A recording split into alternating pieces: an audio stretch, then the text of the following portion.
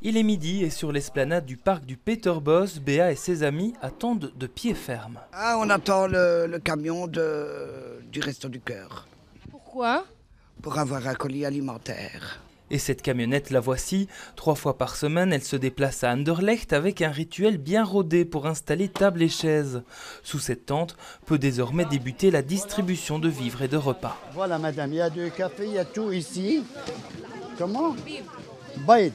Des œufs, tu as eu, hein Et dans chaque colis, de quoi tenir plusieurs jours pour une personne seule ou une famille. Il y a de tout, de lait, de café, des crèmes, des boissons, des tentes, de tout. tu vois que c'est clair et net, voilà.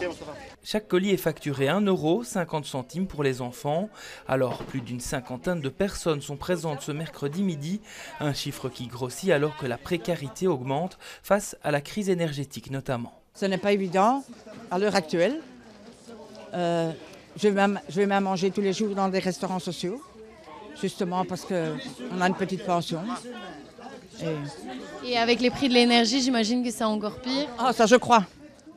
Je vous dis, je fais des économies avec tout. Même mon eau du bain, je le récupère pour mon WC.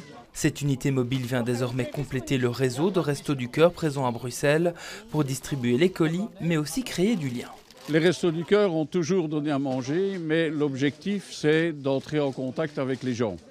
Donc on donne à manger, on crée un climat convivial de relations, et après ça, on peut entamer d'autres choses, on peut les, les, restaurer dans des droits sociaux qui n'ont pas toujours à l'esprit d'aller réclamer là où il le faut.